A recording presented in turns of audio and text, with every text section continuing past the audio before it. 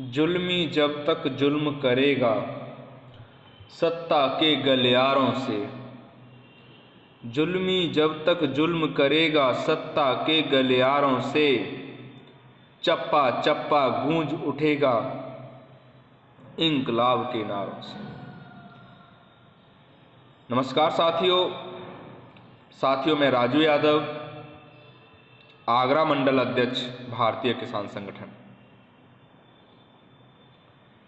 साथियों, मैं कल न्यूज़ देख रहा था। और उस न्यूज़ में मैंने देखा, दिल्ली एमसीडी चुनाव में 130 से ऊपर सीटें जीतने वाली आम आदमी पार्टी 106 सीटें जीतने वाली भारतीय जनता पार्टी।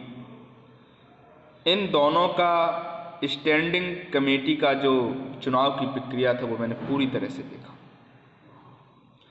भारतीय जनता पार्टी के पास बहुमत नहीं है।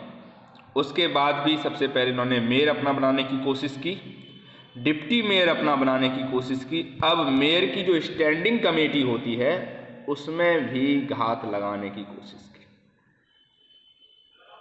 साथ ही साथ विपक्ष पर बुरी तरह से हमलावर है भारतीय जनता पार्टी सरकार।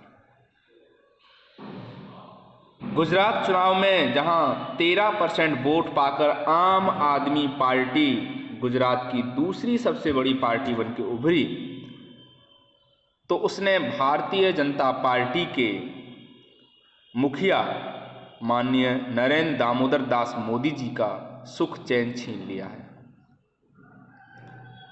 मोदी जी का आईटी सेल और देश के प्रतिभा संपन्न संस्थान जैसे कि आईडी और सीबीआई उन्हीं के इशारे पर विपक्ष के सभी नेताओं को, उन पर सीबीआई के द्वारा आईबी के द्वारा निशाने पर लिया जा रहा है। देश के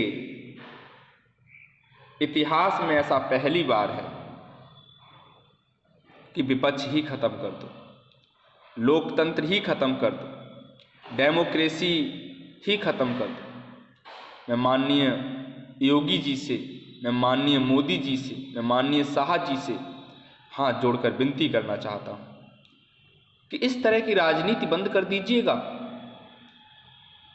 इस तरह की राजनीति आप जैसे राजनेताओं को शोभा नहीं देती। जिस तरह से आम आदमी पार्टी की सरकार अपने काम गिनाती है, काम दिखाती है, हमने खुद देखा है।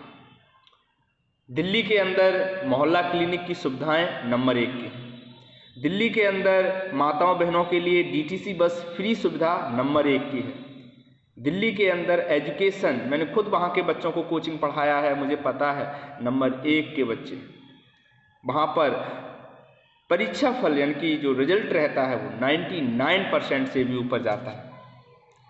तो आप भी दिखाइए ना, आपके इतने सारे राज्य हैं, मैं माननीय भारतीय जनता पार्टी के प्रतिनिधियों से पूछना चाहता हूँ कि आप भी अपने कुछ स्कूल ऐसे दिखाइए जहाँ पर इस तरह का रिज़ल्ट रहता हो।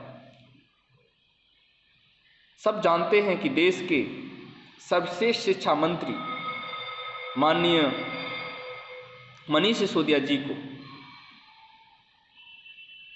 जेल भेजने के लिए गिरफ़्तार कर लिया गया। कैसे भी करके इन पर सीबीआई डालो ईडी करवाओ और इन्हें जेल भेजो। ये पूरी तरह से शर्मसार कर देने वाली घटनाएँ हैं। मैं ये नहीं कहता कि आप जाँच मत करिए। जाँच करिए। अगर कोई भी आम आदमी पार्टी का पदाधिकारी जाँच के घेरे में पाया जाता है इस तरह का तो आप कार्रवाई करिए। या, इसके लिए कोई दिक्कत नहीं है। लेकिन जो स्कूल बना रहा है जिसने शिक्षा क्रांति लाई, पूरा विश्व जिनके स्कूल देखने जा रहा है, आप उन पर कार्रवाई कर रहे हैं। आप दिल्ली के 25 लाख लोग जो उन स्कूलों से जुड़े हुए हैं, जो पढ़ रहे हैं, उनकी स्कूल की शिक्षा छीन लेना चाहते हैं।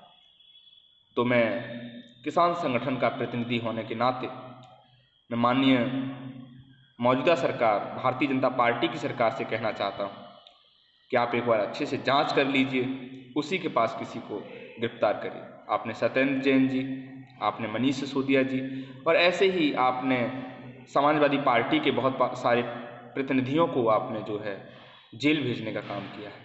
ये पूरी तरह से गलत है। भारतीय किसान संगठन आपसे अनुरोध करता है कि किसानों की एमएसपी की गारंटी देने के लिए भी जो आपने वादा किया था उसे पूरा करें। किसानों पर जो मुकदमे चल रहे हैं, फर्जी मुकदमे वापस आपने कहा था, ले लिए जाएँगे, अभी तक नहीं लिए गए।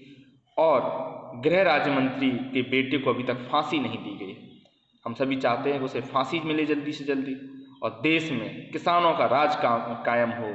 जय जवान, जय किसान। भारत माता की जय। भारत माता की जय।